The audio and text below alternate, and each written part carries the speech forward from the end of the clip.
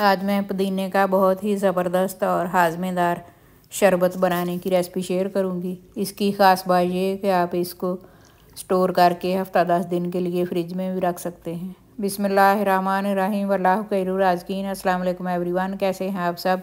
उम्मीद है आप सब खैरियत से होंगे। और मान की बेहतरीन हालत में होंगे। मैं हूँ अंजम नीर चौधरी और आप देख रहे हैं अंजम फ़ूड कॉर्नर। आज की हदीस शरीफ हज़रत मोहम्मद सल्लल्लाहु अलैहि ने फरमाया, अल्लाह ताला नरमी करने वाला है और नरमी को पसंद फरमाता है। बिसमीम पुदीने का शरबत बनाने के लिए दो गट्टी पुदीने की लेके इसके पत्ते जो हैं वो मैं यूज़ करूँगी। डंडियाँ इसकी रिमूव कर देनी है। डंडी का टेस्ट जो है वो कड़वा होता है। ये पत्ते इसके ले लिए हैं और डंडियाँ जो हैं वो उनको मैं रिमूव कर दूँगी। एक ब्लेंडर का जग लिया है। उसमें ये पुदीने के पत्ते शामिल कर दिए। ये तकरीबन दो मुट्ठी के करीब पत्ते हैं। अब इसमें जाएगा एक गिलास पानी। पानी शामिल करने के बाद हाफ़ टी स्पून इसमें काला नमक शामिल कर देना है। काला नमक इसके जायके और टेस्ट में इजाफ़ा करेगा। अब इसको ब्लेंड कर लेना है। ज़बरदस्त पुदीने का शरबत। अब मैंने अच्छे तरीके से ब्लेंड कर लिया है। अब पुदीने के इस पानी को छान लेना है ताकि अगर कोई पत्ते वगैरह या डंडी वगैरह रह गई हो तो वो रिमूव हो जाए। इसी दौरान अगर आपने अभी तक चैनल को सब्सक्राइब नहीं किया तो चैनल को सब्सक्राइब करें बेल आइकन को प्रेस करें ताकि आने वाली हर नई वीडियो का नोटिफिकेशन आपको मिल जाए। लाइक और शेयर भी किया करें फैमिली में फ्रेंड्स में शेयर कर दिया करें, ये आप लोगों की तरफ़ से ख़ास इनाम होता है।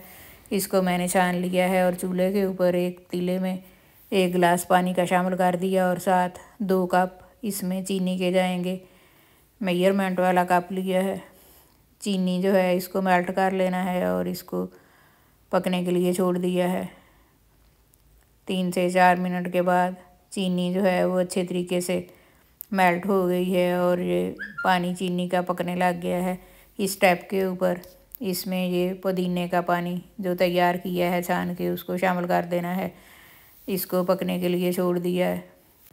ये ज़बरदस्त सा शरबत जो इस रेसिपी से तैयार होगा, अफ्तार स्पेशल भी होगा और रिफ़्रेशिंग पुदीने का शरबत है। ये ठंडा का एहसास पैदा करता है और हाजमे को दुरुस्त करता है। अब इसको पकते हुए पाँच से छः मिनट हो गए हैं। ये ऊपर जो मैल वगैरह है, जाग वगैरह है, उसको भी रिमूव कर देना है। ये चम्मच की मदद से ये सारी मैल जो ऊपर आई है, इसको मैंने रिमूव कर दिया है। अब नीचे से क्लीन साफ़ शफाफ, पुदीने का शरबत, बाकी रह गया है अब इसको मज़ीद। एक से दो मिनट और पकाना है ताकि ये बहुत ज़बरदस्त और फ्लेवरफुल हो जाए।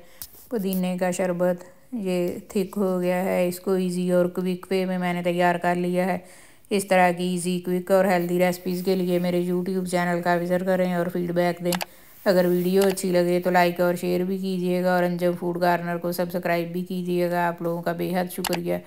अब इसको भी मैंने छान लिया है और ये कमाल का पुदीने का शरबत तैयार हो गया है। इसको ठंडा करने के बाद एयर टाइट जार में या बोतल में सेव करके तो इसको हफ़्ता दस दिन के लिए स्टोर किया जा सकता है। अगर पुदीने के शरबत का इस्तेमाल डेली किया जाए तो ये स्किन के लिए भी बेनिफिशियल होगा। स्किन को फ्रेश करता है। इसी शरबत में से हाफ़ कप लेके तो मैं सर्विंग के लिए गिलास तैयार करूँगी। ये हाफ़ कप पुदीने का शरबत रिफ़्रेशिंग शरबत जो अभी मैंने तैयार किया है, उसको गिलास में डाल लिया है। आधा कप तकरीबन लिया है और साथ इसमें एक गिलास पानी का जाएगा। चीनी जो मैंने शामिल की थी वो काफ़ी होगी इसके लिए। ये तुख्म लगा है मेरे पास। इनको मैंने दस मिनट पहले पानी में भगो के रख दिया था। इसमें से वन टेबल स्पून भर के इसके अंदर शामिल कर देना है। तो ये इसके जायके और टेक्सचर में इजाफ़ा करेगा और बहुत ही ज़बरदस्त रिफ़्रेशिंग पुदीने का शरबत अब मैंने सर्व करने के लिए गिलास में डाल लिया है। बहुत ही इजी और हेल्दी रेसिपी है और बजट फ्रेंडली रेसिपी है। अपने इर्द गिर्द के लोगों का, रिश्तेदारों का हमसायों का भी ख्याल रखना चाहिए ताकि हमारा रब हमसे राज़ी हो जाए। Okay take care see you gay next video अल्लाह हाफिज़ थैंक्स फॉर वाचिंग मेरे चैनल के साथ जुड़े रहिए ताकि इस तरह की इजी क्विक हेल्दी और बजट फ्रेंडली रेसिपीज़ आपको मिलती रहें।